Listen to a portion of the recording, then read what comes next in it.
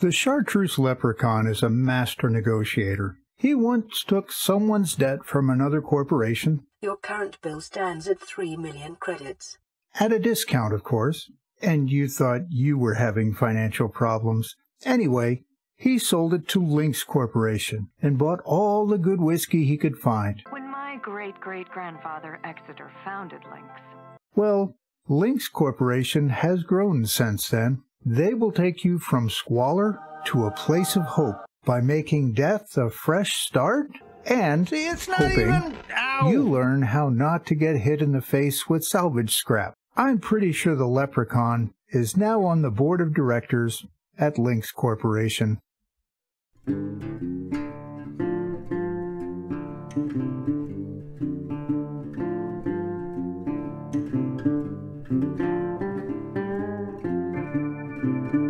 thank you